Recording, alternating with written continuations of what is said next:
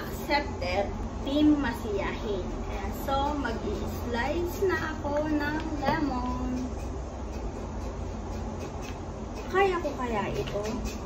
Kasi, yan, wala yan. Um, acidic ako eh. Hanggang ilang slice lang kaya ako ng lemon.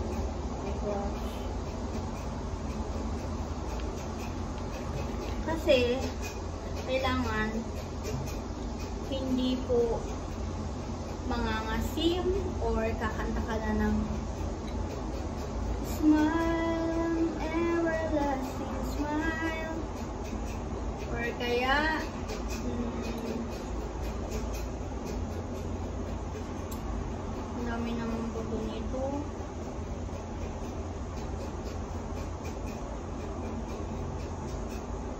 sorry kung hindi mauubos lahat ah parang hindi ko kakayanin ay nako siyang ami kung hindi lang dahil sa'yo lola yang. Mabubudol na naman kayo ay maasim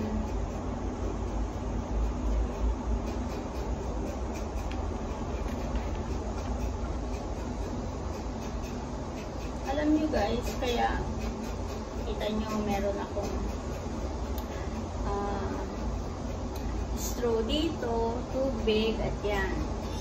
Mamaya, after, pag hindi ko naubos yung lemon, gagawa ako ng drinks ng ice lemon Yan.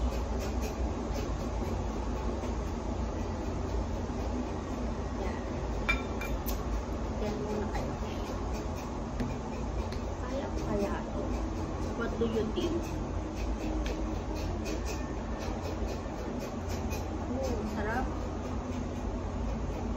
Oh, with honey. Okay.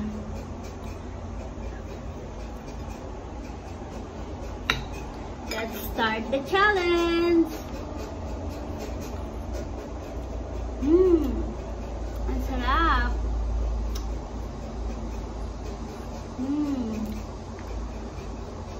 Grabe, as in. Konting-konti na lang.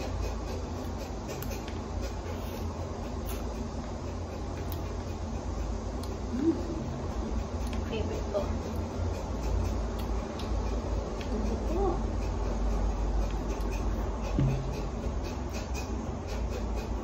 Grabe, as in.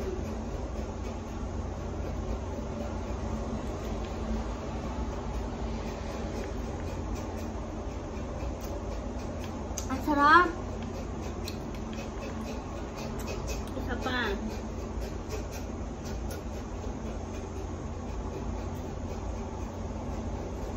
Papayat na kaya ako nito kapag tatlong tatlong lemon every other day. Mmm. Sarap.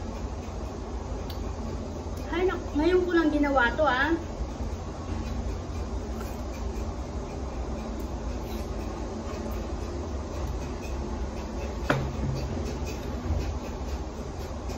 Masarap siya, promise.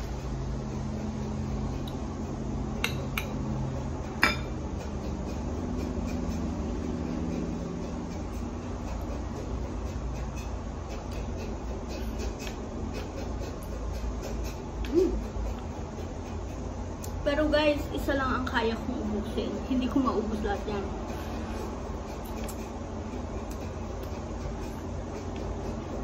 I wonder how, I wonder why It's another with a blue, blue sky I know that I could feel Never just a lemon tree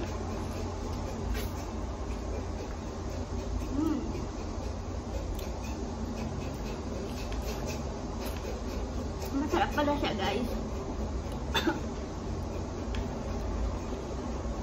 Meron pang 2 pieces ay 2 pieces. Slice pala.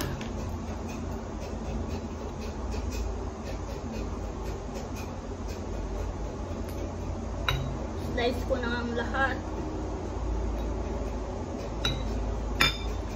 Nako, budang, alam mo ba ngayon ko lang ginawa itong video na to? Kasi hindi ko talaga akalain na hindi, hindi ko kaya itong lemon na to nakakainin dahil maasim. Hmm. Masarap.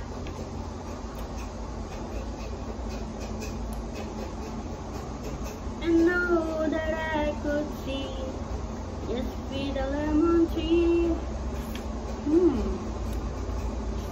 Hmm. Masarap. Hmm.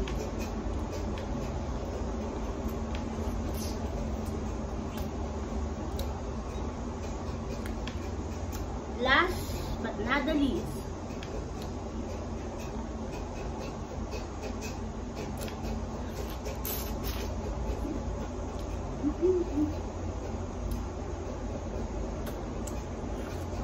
Mm. Okay.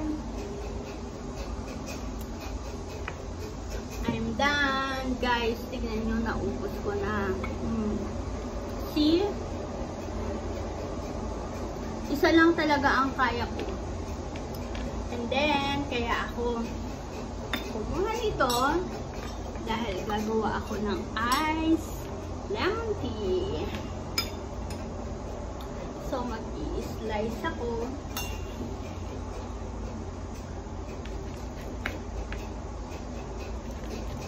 Kahit tatlo. Parang, alam nyo, parang yung lips ko, parang namamangkid sa asim. Pero dahil masarap yung blend nitong honey, so guys, hindi ako naasiman. As in pure na honey talaga siya. Kasi sabi nila, sabi ng ni madam, kapag ang, ang honey raw is nailagay siya sa fridge at parang nag sugar, yung namumuo yung sugar niya, it means hindi siya talaga pure honey. Halo siyang sugar. Pero this one is pure honey siya. Then, lalagyan natin siya ng water.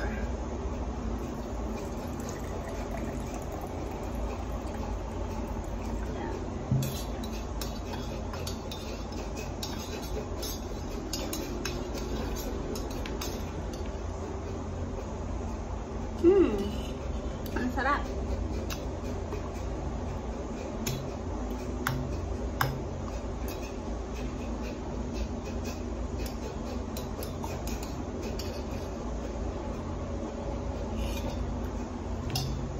So, guys, ah, nakatapos na ako ng challenge. Nakain ko na ang mga lemon.